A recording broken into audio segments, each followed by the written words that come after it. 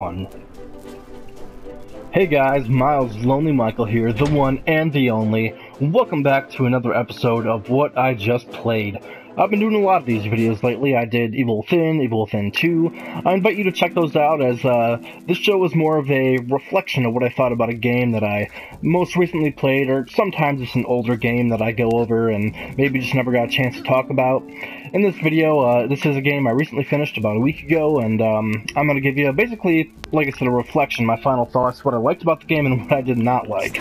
And so, before I get in though, a little bit of housekeeping for you. Uh, if you have not yet, go ahead and subscribe to the channel. I do all sorts of different stuff on YouTube. Uh, of course, aside from this show, I do another show weekly called Raider Radio, where I go over a all things media and everything in between, a different topic every week. So uh, that's going to come out um, about the same time as this video, if not about a day after.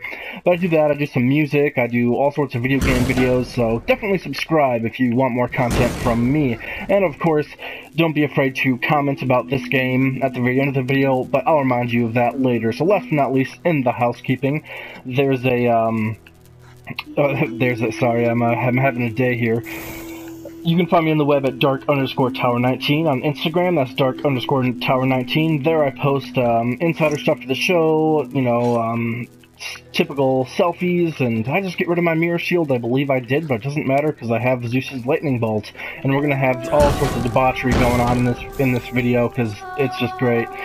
So yep, dark underscore tower 19 for the last time. Go ahead and follow me on there for all sorts of goodies. And without further ado, guys, let's get into it. So this game is called. Now, forgive me because I don't know if uh, exactly how to pronounce this game.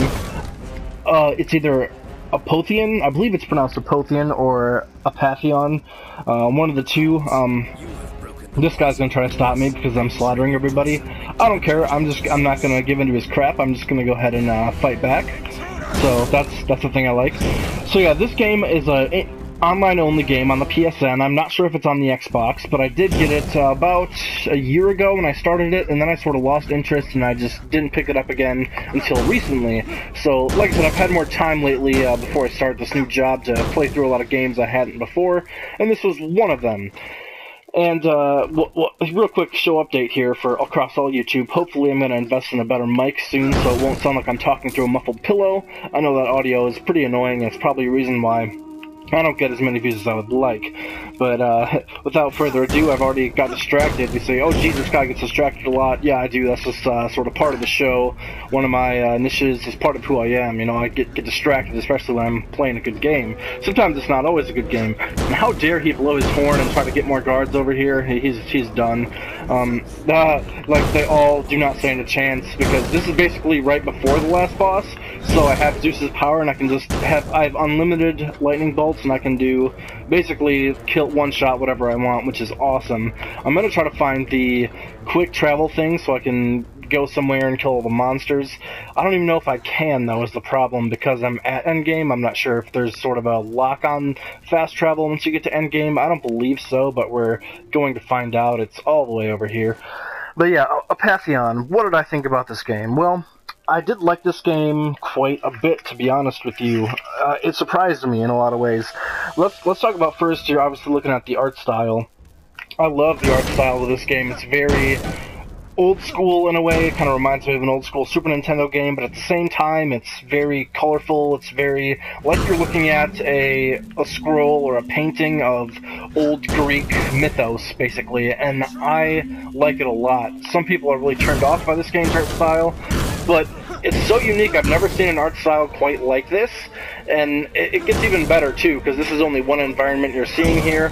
Uh, if I'm able to fast travel, I'll show you uh, something a little bit different to show you sort of the diversity they have uh, and all the work they put into this game as far as making environments look very Greek-like and uh, you know that old style. Again, you know we have whales and crabs and all sorts of uh, Greek people walking around and all sorts of Greek gods, and it's just a very beautiful style, and I love the, the blood that's in there. That when you uh, when you take out somebody it's just really nice. It's very visually appealing, and it's like that throughout the whole game. I never found an area that was derivative of an area before, or that looked, you know, off, or that wasn't unique in its own way. They're all very unique. They all feel very organic. which is which gives this game a lot of charm. Um, so that's something that made me like it kind of right off the bat. So now let's get into a little bit the story. I'll just go through a basic uh, rundown. So you play as a Greek warrior. He's a man uh, named Nikandreos, and this is very God of War reminiscent. And basically, your the gods have given up. The Greek gods have given up on humanity, and your hometown is falling into ruin because the gods are no longer supporting it. And so it's your job to you make a deal with a goddess, and you basically say you're going to go to uh, Mount Olympus, which is where we are. We're on the very bottom uh, in the Agoria, and you have to basically take out all of the, not all of the Greek gods, but a majority of the Greek gods, get their powers, and then uh, your goal is to overthrow Zeus from the throne and basically have, I believe it's Hera who you make a deal with.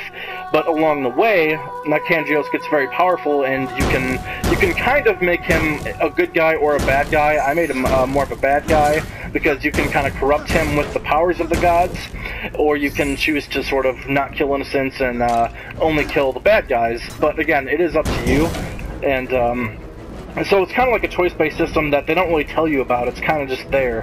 Oh, and I can't travel, so I guess we'll just be killing people uh, in here in this video, which is fine. It's still really funny and entertaining.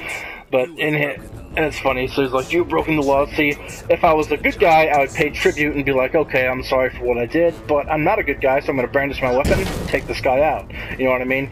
And so that's the art style, though. Wrapping that up, really good. Um, really pops. A lot of oranges, a lot of, a lot of very Greek mythy, and I love it. So next thing, let's talk about the exploration and combat. So this game is very keen on exploration. It's a very Metroidvania-like style game. You have about 12 different areas you, you can go to and fully explore, and there's hidden chests and hidden powers and hidden side quests that you actually have to basically find yourself. You'll have subtle hints on where these things are at, but the game at no point does it hold your hand or tell you what to do, except for the main objective, it'll show you the marker. But when it comes to the side quests and finding some of the awesome other weapons, like I'll show you here, uh, I got all these weapons. I can use whichever one I want against these guys. These are like side weapons I found that I just found from exploring. So it's it's really nice in that aspect, where you you have all this at your disposal. To if you want to make your character really good, you can, and I encourage you to do that if you play this game. Explore as much as you can, and get out of as much as you can out of it because there's a lot more than meets the eye when it comes to this game. And I, I, I love it for that. And again, the, the, main quests are you just taking out the gods, but a lot of the side quests are funny, like the Dionysus vineyard. You have to like beat Dionysus at this drinking game and drink like 10 bottles of wine under a minute. And then if you do that, you impress him so much he uh, gives you a power. You don't even have to fight him. So that was really fun. Or if you go to Hephaestus's forge, Hephaestus is like the god of like making weapons. If you do his side quest, he'll forge you a really badass weapon, which I believe is the one I'm using. It might not be though. But he gives you a really good weapon. The, what I like too is there's sort of a weapon uh, destruction system in this game, so your armor and weapons do get wear and tear. So you either have have to purchase a new weapon or find one out in the wild. As you can see in the bottom right corner, this one's about halfway used, and once it's used, it'll break on me. Um, shields do that too, but shields take quite a bit. And as for your armor, you can upgrade it at your local little shop. You know, there's, there's this is the first area of the game. The second area, it's a little bit bigger. There's more to explore, but there's shops in both of the areas. And yeah, I'm going back to my Thunderbolts because they're way more fun. So, but the whole game I was basically sporting, you know, a sword and a shield, and you have these blast stars you can throw, basically, you know, like little grenades. So you have a huge wide array of weapons to get around this world and to fight all the enemies. And the enemies do vary depending on where you're at with the exploration and, and the side quests. So let's talk about the combat a little bit. So you've seen quite a bit of it. It's very fluid. It feels very nice. Uh, no points. Well, there was a few points where I was like, really? Oh, oh my God! Look at this! look at this weapon. it's like it's like Thor's axe, but we're in the Greek mythos here. But yeah, it's um it's just really great stuff, the combat. It, it's just a lot of fun. It's really hard to get used to. I won't lie, this game is made for PC, so porting to the PS4 it port's alright, and the combat's going to take you a, a few, probably stages, honestly, to get used to before you're actually really comfortable with it. But once you get the flow and ebb of it, it's actually a lot of fun, especially there's some boss battles that are crazy. Like Ares was a crazy boss battle. It was like just toe to toe, knuckle to knuckle, brutal, beating the crap out of each other, and I loved it. So I love that. I love the music to this game too. It's got a very again Greek mythos soundtrack with a lot of uh, a lot of horns, a lot of um, sometimes there'll be some violins, a lot of harp, a lot of harp in this game, a lot of very good, some guitar music that fits the stage and brings this world to life and makes it a lot more believable than it normally would be. And a lot of choral music as well, as you can hear right now. And it's just, it's not the best, but it, it does its job well enough to make this world much more believable. Oh, I can't go somewhere else. It won't let me fast travel, but I'm going to go to the Fields of Demeter to show you sort of that this is a um, completely different area. Looks way different than the previous area. Obviously, we have the same color palette, but the farther we go, it might not let me go all the way in. Yeah, there's Demeter. So she she's just kind of chilling. If you talk to her early on in the game, she'll give you a quest. Uh, I believe it's a side quest, or she'll tell you basically where to go. I also need to heal and fix my armor, which is something you can do in this game. You can drink these little potions to heal, and then fix your armor. So it's really nice whenever you need to, just do that. Again, I'm making it look easy because I'm at literally before fighting Zeus for the last time, so I have everything at my disposal. Uh, but yeah, so far, yeah, I, I loved the story, and I loved, real quick, how they handled the Greek mythos in this game. This is probably the best Greek mythos game I've played. Yes, I do love God of War, but God of War did have a lot of fictionalized Greek mythos in it. This goes off of, like, actual Greek mythos, so you really get to meet a lot of different gods and what they represent, and how they're not really, these aren't, aren't good gods, right? They're very against humanity. They they like to do what they want. They love debauchery.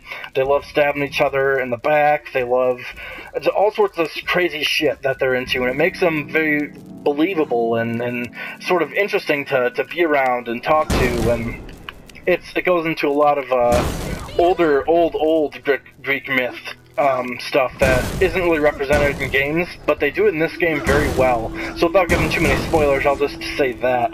So I, with all that, guys, love the story, love the exploration and combat, love the music. Now, what I don't like, there's a couple things I don't like about this game. Um, sometimes the platforming in this is very unfair and just feels very off. So like like jumping doesn't feel the best. I do have a move where I can like jump and flip. That's one of the powers I got for doing a side quest.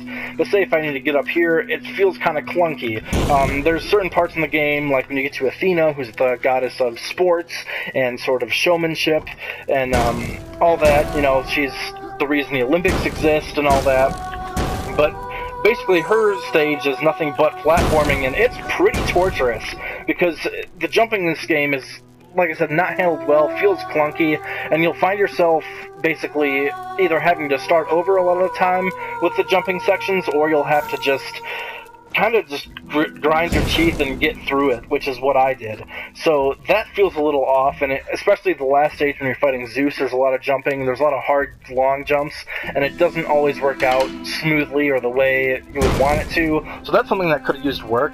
There is a glitch in this game that I hate, two I want to talk about that are pretty big, that aren't, one of them is game breaking, the other isn't. One is you can get stuck in certain places, and I hate this in games. This is one of my biggest gaming pet peeves is when you jump or you can go somewhere in this game, for example, if I wanted to, I can usually, you can explore up and you can also explore down, as you can see I'm pointing in the map. So to do that, I kind of have to go to a transparent spot like this and jump down. Sometimes when you do that and you'll get into a tight spot, your character might actually get stuck and there's no way out. So you either have to reload and autosave, or you have to basically try to get out, but uh, some sometimes you can't get out and you're literally stuck, and that, that bugs me a lot about this game other than that, I mean, that's not really minor. I was going to say it's minor, but it's really not. That's something that really should have been fixed or at least patched out by now.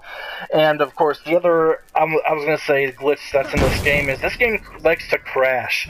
This game, especially near the end, crashed on me about every hour and a half. It was just crashing on my PS4, and I recently rebuilt my database. I cleaned up my hard drive, so there's no reason it should be crashing on me. Games usually don't crash on me hardly ever on my PS4, but this game likes to crash, so be fair warned that this game will crash on you. Because of that reason, save very often. Again, it, it shouldn't crash. I, I don't like the fact that it does. But that is something I really don't like, is the game crashing. Now, that's it though, for as I don't like the rest of this, guys, I really enjoyed this game. I felt like it was a fun experience. It's rather short. You'll clock in at about 8 to 10 hours. Uh, you can finish it probably in less than that if you don't explore, but fully exploration, doing all the side quests, 8 to 10 hours. Real quick, as a, you know, these guys are cool, so I'm going to leave them alive. Um, if they were a normal citizen like that, I just wouldn't care, because I'm evil. Pow! Pow! Nobody gets away from my wrath of But no, for, for real, yeah, this game I really, really enjoyed. I, I didn't, at first I didn't really like it when I first tried playing it, and then that second time through, and I find this a lot with games, that second time through that I gave it a sort of second chance before just not deciding not to or to not to play, that is the question. I decided to play, and I had a lot of fun. But as I said, I'm a trophy hunter, so I don't play games just for trophies, but if there's a game with a lot of trophies, to my opinion, an obtainable platinum, I'll go ahead and get it. I did platinum this game. Uh, if you're a trophy hunter, this isn't a hard platinum, but it's work. It'll take you take about 20 hours to platinum this because you have to basically do everything in the game. But it's worth it, and it was a lot of fun. Uh, it didn't really frustrate me too bad. I was able to do it in about a two days to platinum this game, so it's a good platinum. So let's do a quick recap, guys. What I loved was the art style, the exploration and smooth combat, and the great soundtrack. What I didn't like was some of the janky platforming and sometimes the character animations, um, getting stuck in random spots I shouldn't get stuck in, and how the game crashed on me. Other than that, guys, this is a good game. I give this to Miles Lonely Michael Silver seal of approval. That's even higher than Evil Within 2. Isn't that sad? Because, like I said, I encourage you to go back and watch my Evil Within and then Evil Within 2 videos to see my full thoughts on those, and all my other, um, what I just played, because I do a lot of these, I've been doing a lot more lately, because I've had the time, so expect a lot more of these. These are so much fun. I love doing what I just played. So, yep, silver seal of approval for me. If you don't know what that means, I go by bronze, silver, gold, or platinum. Platinum being like a game that's a game changer, that's one of a kind. We get like once in every five years. Gold is, I really loved it. I'd play it again. I probably will never get tired of it. Silver is, I, I loved it. I liked it a lot, but I'm probably not going to revisit it, but I had a lot of fun playing it. Bronze is a game that was just okay. I had some fun playing it, but I had a lot more issues with it than I did fun. And if I say it's terrible, and if it goes lower than bronze, I'll just say, I'll tell you don't even bother with it never play this game. So this is silver, guys. Apotheon Apotheon, however you pronounce it. Check it out. Uh, it goes on sale every once in a while. I'd buy this game for about 10 bucks. I'd say it's worth. Give it a shot. You might like it. So, with that, guys, go ahead and leave a like on this video if you stayed here to the end. I really appreciate it. I love you guys. You're the best. Don't forget to hit that subscribe button to get more videos from me in the future. And hit me a comment about uh, what do you like about Greek mythology? What do you like about this game? Or how do you think this game compares to like the original God of War? Because there's a lot of similarities in the story and sometimes in the gameplay. Let me know in the comments below. I'd love it. So as always, guys, thanks so much for coming and hanging out with me this past half hour. I love you for it. I am Miles Lonely Michael, the one, the only, and I will see you next time. Me, along with Papillon, we are signing off.